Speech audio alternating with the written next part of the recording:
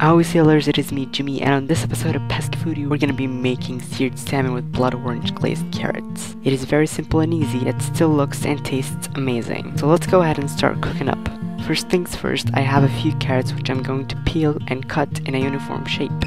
Doesn't matter what it is as long as they're all the same size so they cook evenly together.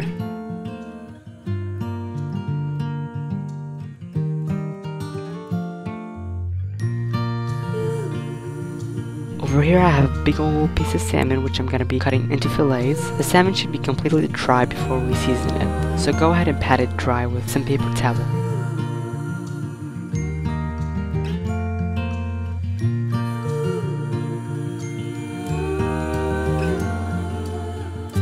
The next step is to season the salmon with a good amount of salt and pepper. And giving it a fair massage to let the seasoning stick to it. Now over medium-high heat, I have melted some butter, and to that we're adding the carrots to saute for 3 to 4 minutes or until it gets a golden brown color around the edges, also known as caramelization. Don't forget to season the carrots with salt as well.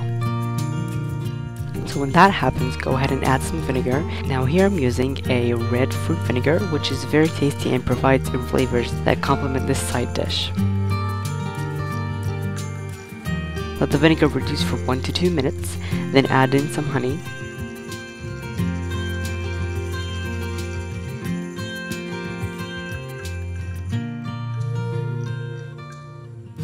And some blood orange juice. After you season with some pepper, let that reduce on medium-low heat for 5 minutes.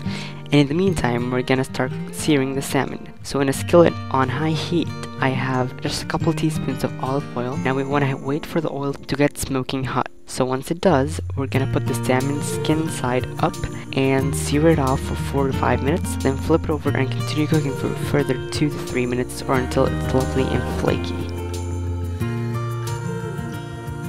And other than checking your carrots for seasoning, you are pretty much done. Plate it up and enjoy.